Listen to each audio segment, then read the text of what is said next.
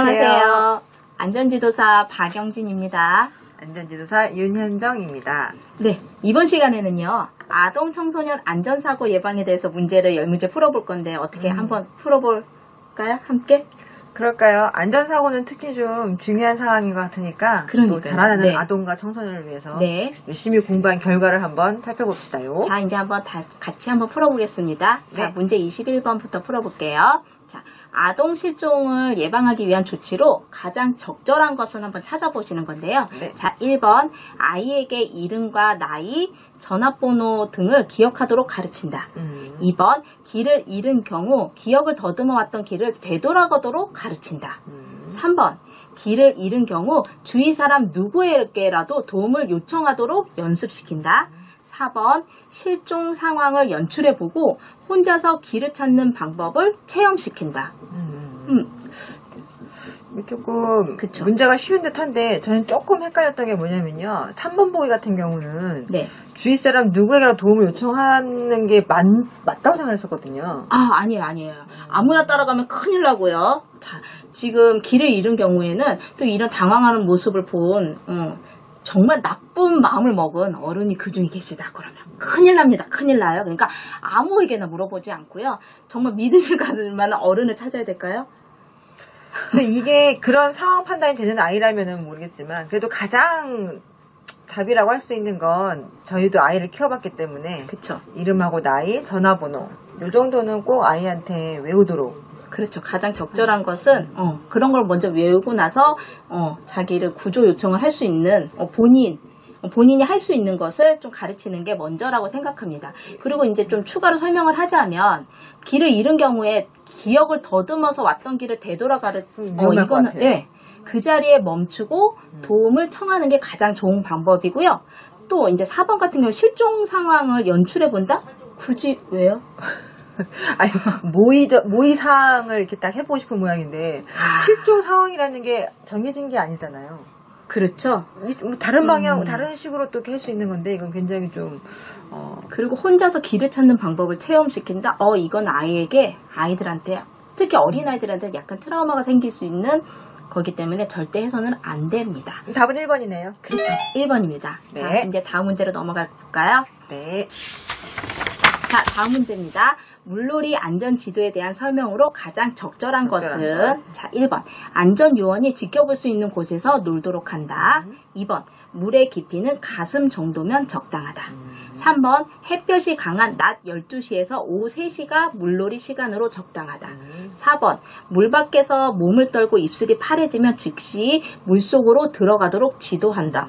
어, 이거 다 쉬운 문제인 것 쉬워요. 같은데요? 쉬워요, 쉬운데 쉬워요. 왜냐면 1번 보기부터 안전 요원이 이게 딱 나오니까 그렇죠. 안전 요원이 지켜볼 수 있는 곳을 노력한다. 딱 그렇죠. 맞는데 아, 어. 나머지는 왜 틀린지 물의. 깊이는 가슴이 아니고요. 배꼽 정도가 적당하다고 음, 하고요. 배꼽. 어, 그리고 낮 12시하고 오후 3시는 들어가는 게 아니고요. 피해야 되는 시간입니다. 이거 상식 아닙니까? 상식? 그러게요. 자, 그리고 물 밖에서 몸을 떨고 있어요. 입술이 파래졌어요. 근데 다시 물 속으로 들어갑니까? 집에 가야죠. 아니죠. 집에 가셔야 돼요. 너무 많이 추워요? 많이 추워요. 집에 가셔서 쉬는 게 좋겠습니다. 자, 이제 다음 문제로 넘어가 보겠습니다. 그러겠습니다. 자, 문제. 지진 발생 시 대피 요령으로 가장 적절한 것은 자, 1번. 집안에 있을 때 전기 코드와 가스를 차단하여 화재를 예방한다. 2번. 자동차 승차 중이라면 차 내에 대기한다. 3번. 시내에 머물며 테이블이나 책상 밑에 숨어 머리를 보호한다. 4번. 야외에 있을 경우 가까운 건물 내로 대피한다. 아 지진. 여기 남의 일 같았는데 그쵸. 지진도 이제 우리나라가 안전한 나라는 아니에요. 그렇죠? 네, 저도 가끔 지난번 그 음. 어, 부산에서 아, 그- 경주에서 느끼셨어요? 어우 잠깐 느꼈습니다. 저도 제가 예민한지라 어, 무서워요. 별로 안 예민해 보이는데. 자 대표 요령 가장 적절한 거 찾아보시죠. 1번입니다. 그렇죠. 집안에 있을 땐 무조건 전기코드 가스를 차단해서 화재를 예방하는 게 먼저입니다. 자, 그리고 자동차 승차 중이라면 차 내보다는 차 밖에서 대기하는 게 더 좋고요. 그리고 이제 만약에 야외에 있을 경우에는요. 건물 내로 들어가는 것보다는 넓은 공터, 운동장 같은 데서 오히려 몸을 피하시는 게 훨씬 더 좋습니다. 무슨 어떠한 재난이 발생 시 가장 침착한 게 일단은 우선인 것 같아요. 그렇죠. 침착. 어, 네. 우왕좌왕하지 마십시오. 자, 저희가 지금 공부 열심히 하고 있지 않습니까? 그렇죠. 네, 잘 숙직하시고 여러분들한테도 많이 알려주시기 바랍니다. 자, 이제 다음 문제 가보겠습니다. 네. 자, 문제 24번입니다. 다음 중 산불 위험으로부터 대피하는 설명으로 가장 적절한 것은 적절한 것이요. 네, 잘 찾아보십시오. 1번 계곡 또는 산 아래쪽으로 대피한다. 2번 산불은 여름철 우거진 수풀과 가을철 단풍이 특히 위험하다. 3번 산림이 울창하고 낙엽이 많을수록 산불 전화가 어렵다. 점화가 네, 점화입니다. 네. 네. 4번 경사가 급하고 기복이 많을 경우 환, 아, 산불 확산 속도가 느리다. 음. 어, 이것도 그 적절한 거 음. 찾는 거잖아요. 적절한 그렇죠. 거. 가장 적절한 거 찾으시는 겁니다. 네, 네, 네. 제가 봤을 때는 계곡 또는 산 아래쪽으로 아래쪽으로 대피를 해야지 위로 올라가는 분들이 있을까요? 산불이 났는데 또 급한 마음에 또 급한 마음에 또 어, 위로 올라가시는 분이 계시지만 힘들게 어, 위로 가지 마시고 아래쪽으로 어, 대피하시기 아래쪽으로 바랍니다. 대피하시고요. 산불은 어느 철에 가장 많이 건조한 날 계절이라고 하면은 이제 봄 가을이겠죠. 그렇죠. 이번에 여름철은 아닙니다. 네. 자, 그리고 낙엽이 많으면은 산불 정말 쉬울까요? 어려울까요? 나뭇잎이 많아요. 정말 쉬울까요? 어려울까요? 그래서 이럴 때 담배꽁초 아무데나 버리지 말라고 하는 게 맞아요, 맞아, 맞아, 맞아. 맞아요. 산불 전화가 쉽다. 어, 이거 틀린 거죠. 그쵸? 네. 그리고, 자, 경사가 급하고 기복이 많을 경우, 산불 확산 속도가 느리다. 빠르죠. 엄청 빠릅니다. 엄청 빨라요. 그럼 답은 몇 번입니까? 네, 1번입니다. 네, 다음 문제로 가보겠습니다. 자, 문제 25번. 자, 통학로 상 사건 사고 유형 중 예방 요인에 해당하는 것은 자, 1번 위치 추적 서비스 설치, 2번 높은 교통법규 위반율, 3번 많은 다중 이용 시설 존재, 4번 통학로 혼잡 및 굴곡도 심화. 이거는 딱 보면요, 네. 굉장히 좀, 뭐, 전문적인 용어들이 많은 것 같은데, 예방 요인을 찾아보시는 거예요. 예방 요인은 하나밖에 없어요. 그렇지 않아요? 뭘까요? 1번입니다. 네, 위치 추적 서비스 설치입니다. 나머지 2번, 3번, 4번 사항 같은 경우에는 사고 발생 요인에 해당합니다. 네, 다음 문제로 가보겠습니다. 자, 문제 26번. 네. 어린이 교통사고 예방을 위한 조치로 적절한 것은 1번. 새길이라 해도 CCTV만 설치되어 있으면 안전하다. 음. 2번. 인도폭이 좁을 경우 차라리 차도로 걷는 것이 안전하다. 3번. 큰 길, 학생들이 많이 다니는 길을 이용하도록 한다. 4번. 보행 시 신호등만 지키면 안전하다는 믿음을 주어야 한다.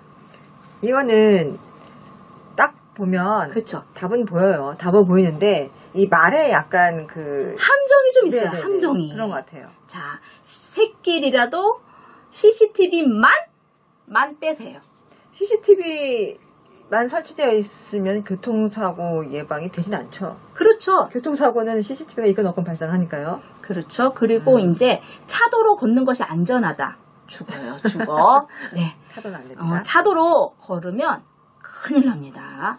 자, 그리고 보행 시 신호등만 만 빼세요. 빼세요. 네. 신호등만 지키면 아니고요. 자, 좌우를 잘 살피면서 보행을 하시는 게 안전을 예방할 수 있습니다. 어린이들한테 교통 이 예방 훈련 교육을 시킬 때 어, 보행시 신호등이 켜지면 신호등이 켜지면 신호등이 켜진 후에 양쪽 좌우를 둘러보고 건너는 그런 습관을 기르도록 하는 게 또 되어 있죠. 그렇죠. 네. 네, 교통사고 아이들한테 굉장히 많이 일어나는 거기 때문에 네, 여기에 대한 예방 교육은 좀 철저하게 할 필요가 있다고 생각합니다. 네, 이제 다음 문제로 넘어가겠습니다. 자, 문제 27번입니다. 학교 안전사고 유형 중 가장 빈발하는 유형입니다. 빈발하는 유형 찾는 거예요, 가장. 네. 자, 1번, 널, 넘어진 경우. 음. 2번, 사람과 충돌한 경우. 음. 3번, 미끄러진 경우. 4번, 외부 물건에 부딪히는 경우. 전 이 문제 좀 어렵던데요. 되게 간단한 문제 같은데도 네, 학교 안전사고라 하면 이렇게 떠올려 보면 저는 뭐 넘어지는 게 되게 많거나 이렇게 부딪히거나 이런 게 많은 줄 알았는데 의외로 이 답은 4번 외부 물건에 부딪히는 경우더라고요. 책상이 많잖아요. 아, 그런 것들이.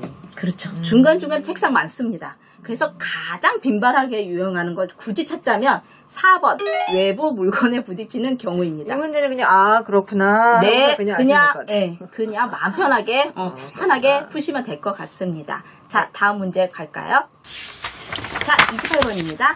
실내 화재 발생에 대한 설명 중 가장 적절한 것은 적절한 것이요. 네. 1번 손수건 등으로 코를 가리고 대피한다. 음. 2번 연기의 수평 이동 속도가 수직 이동 속도보다 빠르다. 어, 말이 어려워요. 자, 3번 전기 화재는 기름 화재와 달리 물을 사용하여 진화하는 것이 좋다. 4번 화재 발생 시 엘리베이터를 이용하여 신속하게 대피한다. 저 이거는 네. 답 문항은 쉬워요.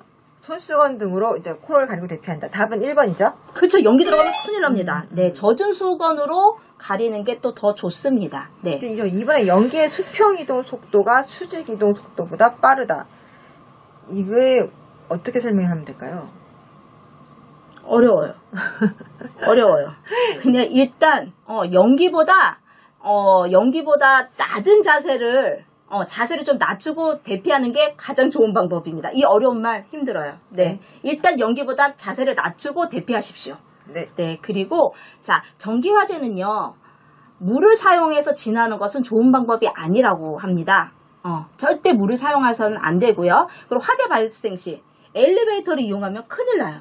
네. 비상구 계단을 이용해서 대피하는 게 가장 좋습니다. 네. 엘리베이터 나- 안에 갇히면 큰일 나잖아요. 네.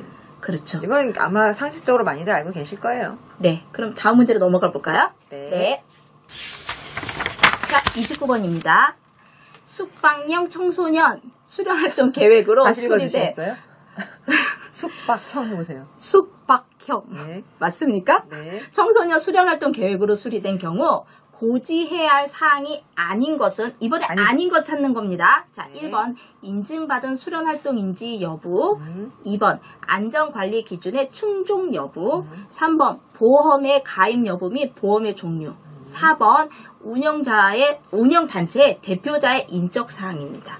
뭐 선볼 것도 아닌데 인적사항은 뭐하러 가요? 그렇죠. 뭐 굳이 뭐 대표자의 뭐 경력이 중요한 것도 아니고 그렇죠.